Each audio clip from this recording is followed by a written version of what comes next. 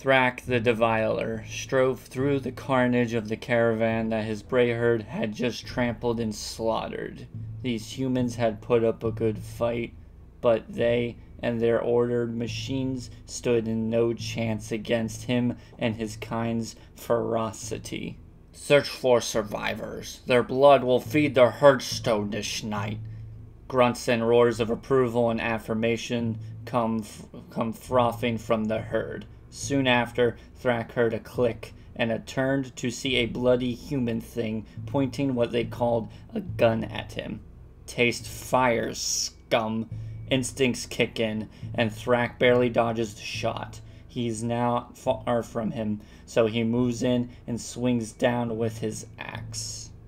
As life begins to ebb from the man thing, Thrak relishes in the bloodshed.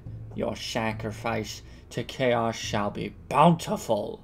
As he rips the axe free and lets the body slump to the ground.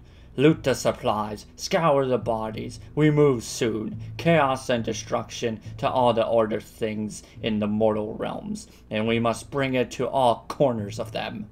Another successful raid, having lost countless of his own kind many moons in a row.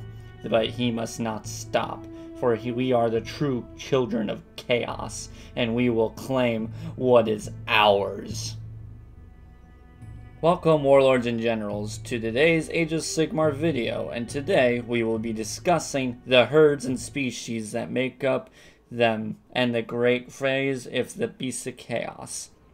Now, the species breakdown of what type of herd they, um, quotations, organize into, and eventually Great frays, they join, which we will cover in the next episode for Beastmen lore.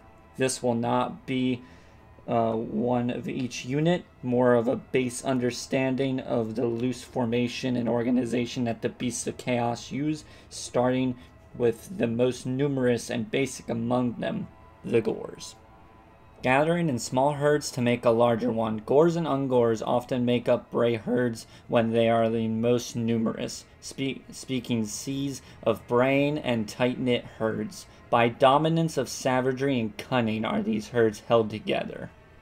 Usually, Bray herds will remain hidden in the dark regions of the mortal realms, feasting and venting their rage and savagery upon local animals they hunt, explorers, and lost soldiers but eventually the herds will descend upon villages, caravans, barracks, towns, and even fortresses if they have the numbers and the ferocity. The species that make up the Bray herds are Gors, Ungors, and Centigors, but one would not think they are the same species by looking at them. So varied are they. Most Gors have sheep, goat, or ram heads, but they are not limited to them as deep sea gors have been discovered and sighted with scales, fins, and amphibious gills like fish. Some have piranha heads, shark heads, or even in some cases, turtle like heads. As we mentioned in the previous video, that the realms of the origin affect their physiology and appearance, I'll be breezing over that. Centigors tend to be the most horse like in aspect, though they can also have the appearance of stags, donkeys, and even other types of deer and four legged uh, horse like creatures. When the herd charges into battle, Gors and Ungors make up the bulk of the army, while Centigors and Tuskgor chariots flank the army in the center is the leader of the army, the Beast Lord. These beastmen have the largest horns, thickest manes, and have scars of multiple battles. They lead by example by leading at the front, unleashing true bloodshed and ferocity to invigorate their fellow beasts. The beasts follow the hierarchical system, where the stronger and more violent you are, the higher up you will climb, with only exception being the Great Bray Shaman. The Beast Lord is the top dog of this pyramid, proving leadership through savagery and cunning, for his foes come from within and without, felling would be usurpers as quickly as enemy champions. And if he cannot provide food and violence, the herd will murder him and make the next beast their leader. As for their way of war, a headlong charge is not their main tactic, however, and any commander who underestimates their cunning will soon pay dearly for it. As the main force charges, horns will sound, and many members of the herd will leap from ambush, hitting enemy in weak points, unprotected missile units, and from behind their lines, causing a scissor attack to form, breaking the back of the most foes as it catches them completely off guard. Usually, it takes a veteran type leader or the most experienced combative to outmaneuver this type of tactic. As such, the Bray Herd's tactical objective is to hit hard and surround their foes and cut them off from any escape. After battles, it is the Great Bray Shaman, the most powerful among the Beast Lord's followers, who will commence a ritual of blood, bone, meat, and even the sacrifice of live enemies to the Herdstones. The markers that are the monolithic and as well as the only markers they use for land markings. However, these beasts also use them to spread corruption even further. In battle, it will be hardness of the winds of chaos to empower their fellow beastmen, or bring devastation and mutation to his foes. The ritual it performs will give the shaman prophetic visions and signs. They tell the shaman where the beast lord must head next so they must constantly bring ruin and slaughter to other armies, in particular order for their most hated of foes, and wish nothing but to bring them ruin and destruction. And that is a short covering and summary of the Bray Herds, the cunning yet ruthless and brutal faction within the Beast of Chaos that covers most of the Gors and Centaurs. Next we will be covering the herd that is made up of Bullgors, Cygors, Ghorgons, and are usually led by a Doombull. These are the war herds. Being made up of mostly Bullgors, beastmen more like beasts in body and mind than their Gor cousins. Being more mutated, they are taller and have engorged muscles being tall as an armored knight and weighing just as much, if not more. These beastmen are possessed of a blood screed significantly greater than any other of the beastmen, falling upon each other for fresh raw meat if none is available to them if they go long enough without feasting on fallen enemies in combat.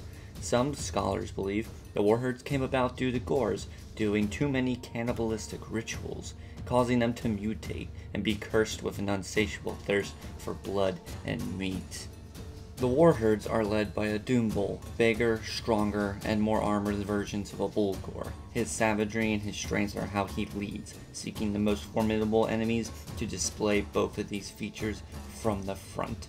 The warherds take on war in a less cunning and more brutal fashion than their Gor Brayherd cousins, tactically at least.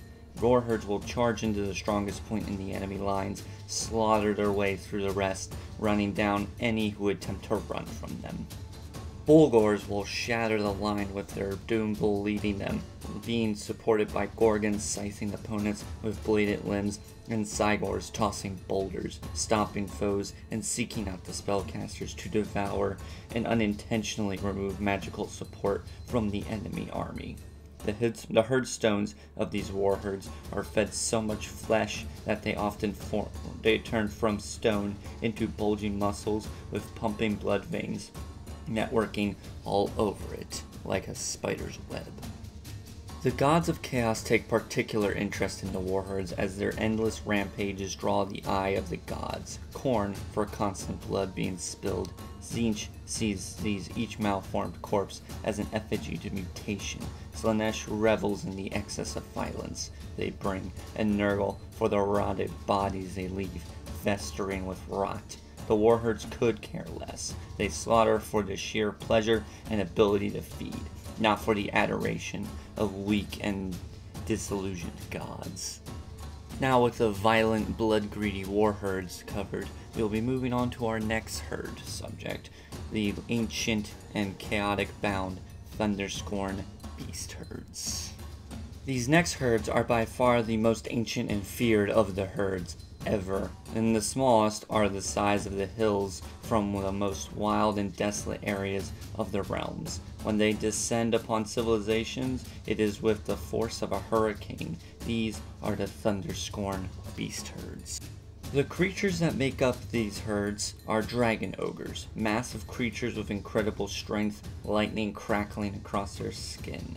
Though they do not ride to war often, but when they do, they bring ruin and destruction wherever they rampage, through forests, though the fewest of number of the herds. However, a handful of dragon ogres can slaughter entire armies and bring ruin to entire continents and nations.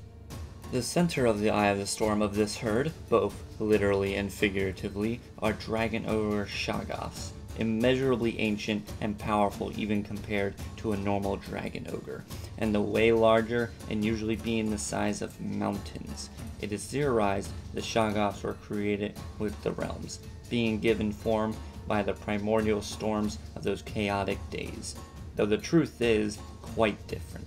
In the world that was, an incredibly powerful, the most powerful Shaggoth of his kind, the size of three mountain ranges, somehow survived the old world's death.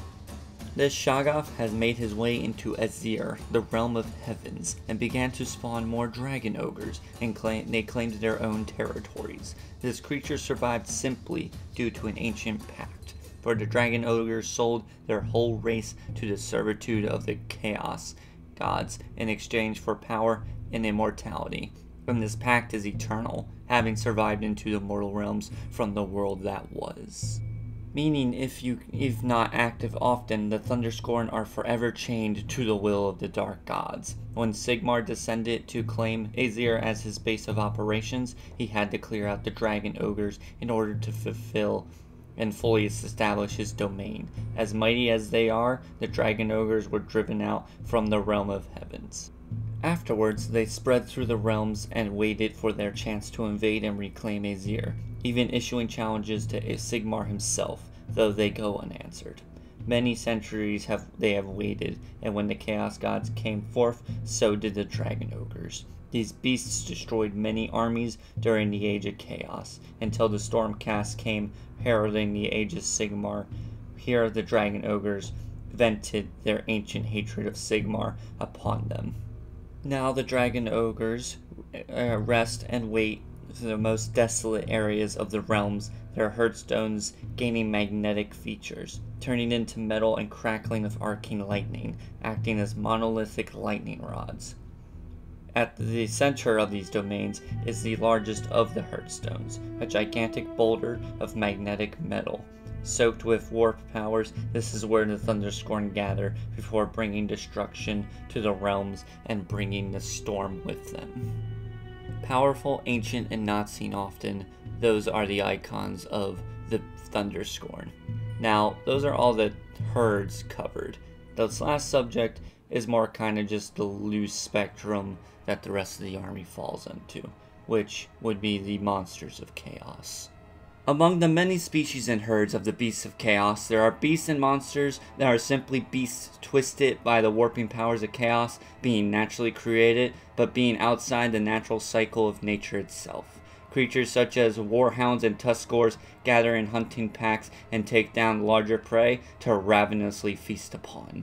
Other monsters are giant, solitary predators stalking the land for a fresh kill, although not part of the grave fray, but they are attracted to and drawn to them upon they that are on the rampage. Hearing the sounds of battle and smell of blood on the wind draws the monsters, chaos gargants, gargants striding forth to crush the enemies, and beasts such as chimeras, jabberslythes, cockatrices spring forth from layers to engage and devour the victims of the battlefield, living or dead.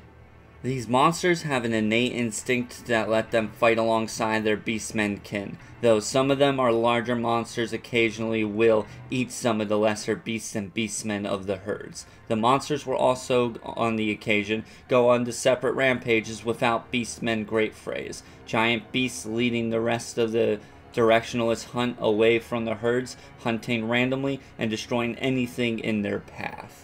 The Beastmen Herdstones also attract these monsters, regardless on if the Great Frays are gathered around them or if they are long abandoned by the Beastmen.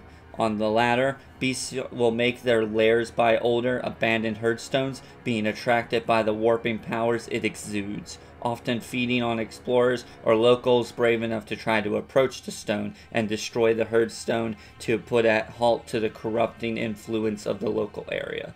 Regardless if it is these beacons of chaotic corruption or that attracts them or the rampages, the monsters of chaos will always lure in, lurk in the shadows of the realm to spring upon those ordered when the beastmen go on rampages.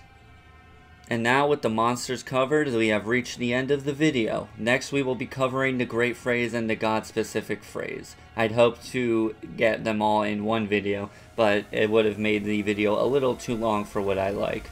So I hope you enjoyed this video. If you did, please leave a like. If you want to see more from me, please subscribe as I am trying to grow this channel into something more and I want to start branching out into doing things more than just uh, narrative and lore based videos and I would like some comments and opinions on what I should do.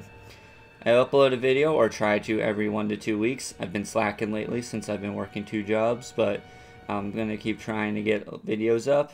If you have any criticism, please leave a comment. Hope you all have a lovely day and happy wargaming.